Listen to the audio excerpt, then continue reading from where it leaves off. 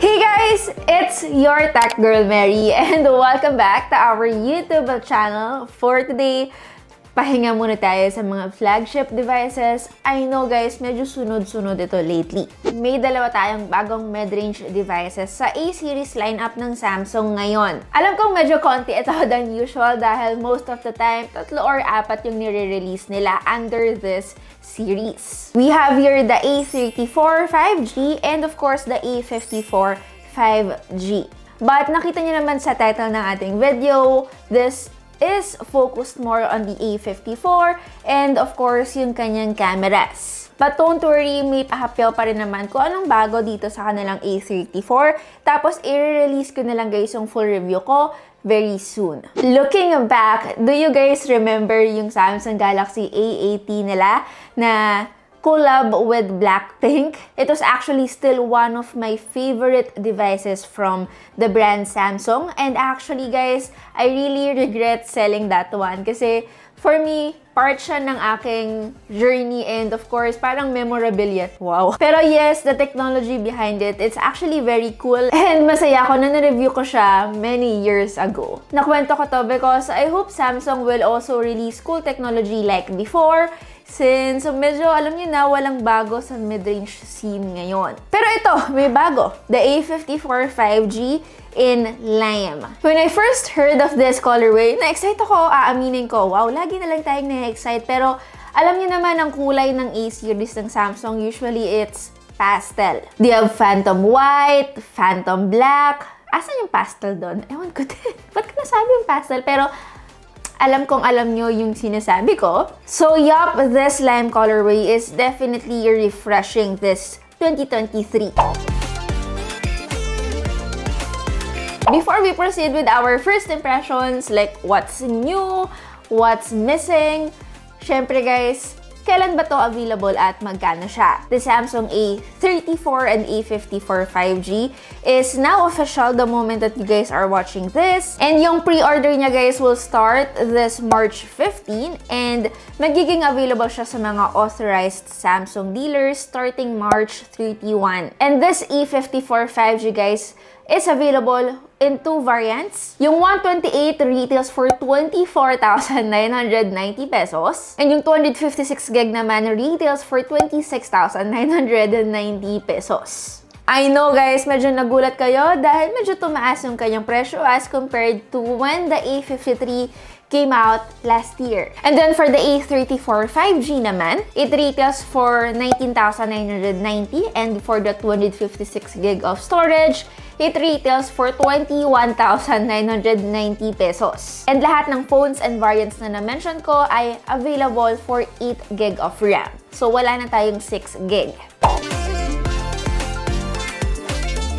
So what's new with the design of the Samsung Galaxy A54 aside sa ating new colors? Actually, pag nakita niyo siya in person, makikita niyo agad yung bago sa kanya which is the glass back. Yup, A-series is very known guys for their glastic back design na kung saan ito ay mukhang glass pero made of plastic. So this time, glass na yung ginamit sa kanya but do take note yung frame niya is still made of plastic. Also, with this colorway guys na lime, kahit na glossy yung kanyang likod and of course glass, kahit na pasmado ako, alam niyo yan, hindi siya ganon ka-obvious. Probably because of the color. Siguro kung black to, kitang-kita na agad kung gaano tayo kapasmado today. Aside from that, the SIM tray guys is located on top, pati na rin yung kanyang secondary mic. Below, we got the main mic, the USB-C port, and of course, the speaker grill. Anong nawawala?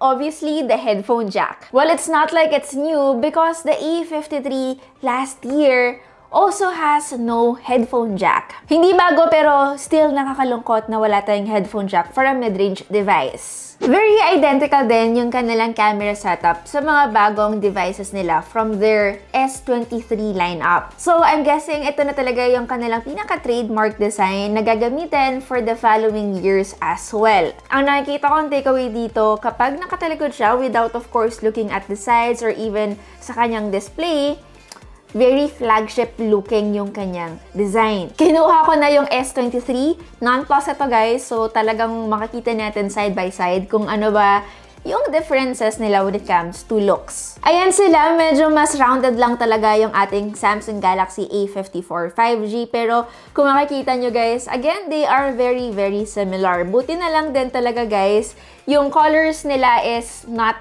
similar. Kasi nga, wala naman din tayong color white sa A54, lalong wala rin naman tayong lime sa S23 series. According to Samsung, recycled plastic for side keys and SIM trays yung ginamit nila sa kanilang bagong A54 5G. And then, recycled biomaterials naman para sa kanyang pinaka-back panel. So yup, hindi lang sa kanilang flagship phones in-incorporate yung Galaxy for the planet, but as well as on their mid-range devices, which is good.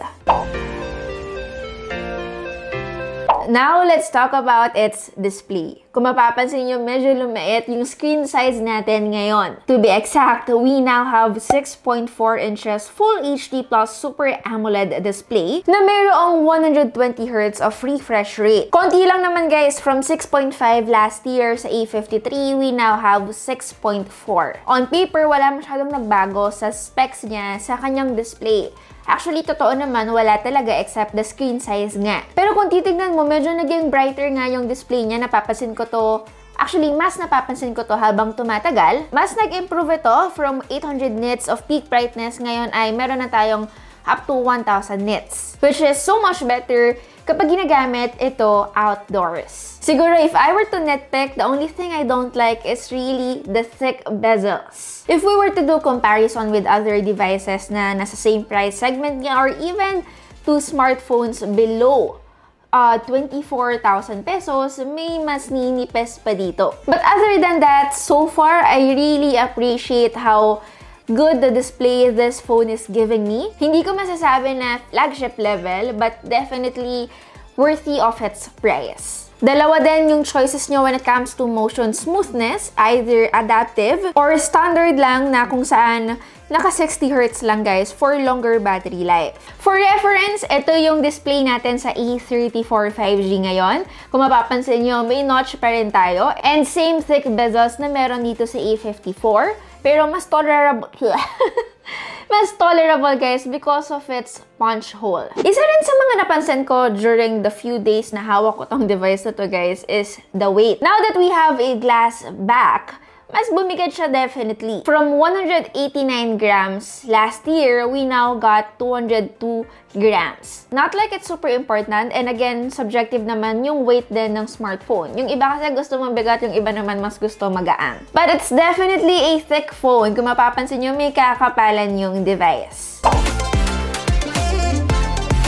Now, going for its cameras, kung mapapansin nyo, tatlo na lang guys ang camera natin ngayon.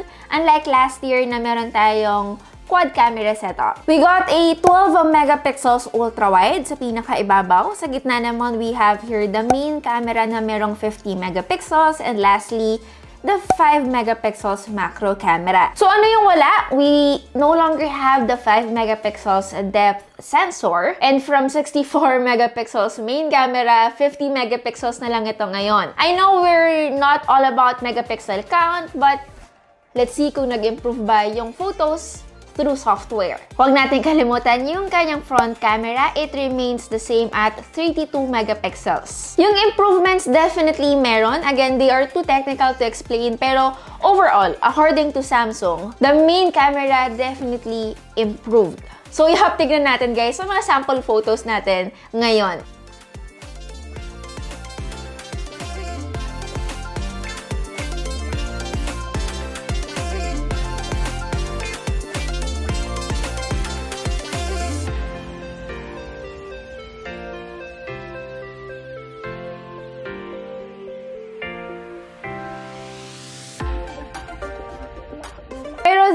Few things, of course, na bago for me. Like, we can now edit yung kanyang mga photos and remove objects. Well, hindi to bago sa Samsung because we've seen this feature sa mga flagship devices nila. Other than the new object eraser, alam kong curious kayo kung anong itsura ng kanyang camera setup ngayon. We have the usual Pro mode, Pro Video, the single take, night mode, food, panorama, macro, super slow-mo, slow motion, and hyperlapse. Additional thing that I noticed sa kanyang camera app nung nagsasample test ako guys nung gabi, automatic na rin yung kanyang night mode. Hindi niya na kailangan pumunta sa more menu to, again, turn on the night mode. Kapag na-detect nung phone na Again, low light nga yung scene, ang moon logo will appear. Now, for taking videos, this is capable of shooting 4K up to 30 FPS. This is for the main camera, guys. For the super steady on, guys, ito ay magagamit lang sa ating main camera at hanggang 1080p resolution lang siya applicable. Now, if you guys are curious kung pwede tayong makapag-change ng lenses while taking videos, actually, pwedeng-pwede guys, between ultra-wide, one times, and of course, two times. And hindi lang yun guys, we also get to flip the camera. And pwede tayong mag-switch to taking selfie videos while again, recording. Now, how about performance, battery life, and operating system? May mga upgrades ba tayo when it comes to these? Actually, we still got the Exynos chipset, guys. From the Exynos 1280 from the A53, we now got the Exynos 1380. We also got an upgraded RAM na dati ay merong 6GB pa, pero ngayon, lahat ng smartphones na pwede nyong bilhin sa market ay 8GB of RAM na. According to Samsung, 20% faster yung kanyang CPU and 26% faster naman yung kanyang GPU. We're not all about numbers here, pero so far, okay and smooth naman yung experience natin. But again, just like what I always tell you guys, I'm not the biggest fan of Exynos. I know this is Samsung's in-house chip, but I still do prefer Snapdragon. Yung hindi ko na-mention kanina guys, battery and charging speed, this is because we still got the same um, 5,000 milliamp hour with 25 watts charging capability, which is a bit disappointing. Actually guys, yung 5,000 milliamp hour, okay lang eh. Kasi alam ko namang mas magiging optimized ngayon because we got a newer chip. The charging speed, medyo disappointing ng konti because we all know medyo mabagal ang 25 watts for its price. But the good news is, Knowing Samsung, of course, alam naman natin na reliable sila when it comes to software. They promise that they will be having the latest Android OS update four times and 5-year security updates. So to summarize the new Samsung Galaxy A54 guys, ito yung mga so far na-notice and of course na-experience natin. Better software optimization. Speakers are definitely better. Mas premium yung material. Of course, from plastic, we now have a glass back panel. Brighter display and significant performance improvements. Honestly, clean yung camera layout. I like it. It doesn't look like a mid-range device. The only thing siguro na hindi ko masyadong na-appreciate sa bagong A54 nila is yung kanyang thick bezels. So far, that's it for my first impressions, guys. Let me know kung gusto niyo ng long-term review para naman din doon sa mga hindi masyadong nagmamadali at willing mag-antay. But of course, for the A34 5G na bagong phone din nila, I will be releasing a review very soon, guys. Just let me experience the device first. Inuna ko lang talaga yung A54 syempre alam kong maraming curious sa inyo. That's pretty much it. Again, it's your tech girl Mary and see you on our next video. Bye guys!